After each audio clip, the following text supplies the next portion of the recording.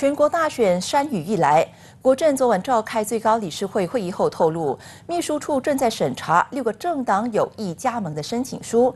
面对媒体追问，除了全民党以外，还有哪个政党申请加入阵线呢？国政总秘书拿督斯里赞比里三缄其口。另外，马华总会长拿督斯里魏家祥则透露，国政已经谈妥部分的议席分配。各政党紧锣密鼓备战全国大选之际，国政昨晚召开最高理事会会议，由国政主席拿督斯里阿莫扎西主持大局。会议结束后，国政发文告，简单扼要说明会议议决。有关阵线接获六个政党有意加盟的申请书，对此表达谢意。秘书处正在审查所有政党的申请。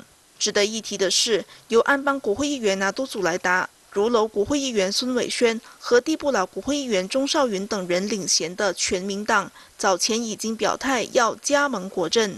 akan diurus oleh urus dia kita terlebih dahulu dan kemudian apabila sampai masa ini akan diumumkan nanti akan keputusan itu. Terima kasih. Saya hanya dapat maklumkan bahawa lebih daripada satu parti saja. 文告也指出，最高理事会也同意设立国政女青团，协调成员党的女青团运动，并议决由乌统女青团长拿督扎西达全权领导。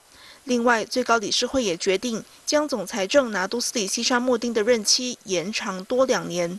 文告也强调，国政各成员党在各个阶层已经做好备战大选的准备，最高理事会对此非常满意。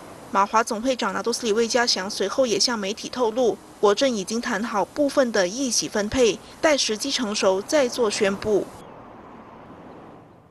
国政最高理事会还没亮绿灯批准全民党加盟，对此，全民党最高理事强调，如果国政有任何问题需要厘清，全民党都愿意配合和国政会面商谈。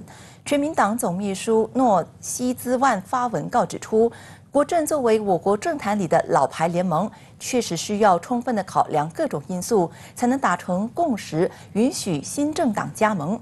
他指出，全民党欣赏国政，也会尊重国政最高理事会展言批准全民党加入的决定，并且在耐心等候申请结果出炉前，认真看待这件事。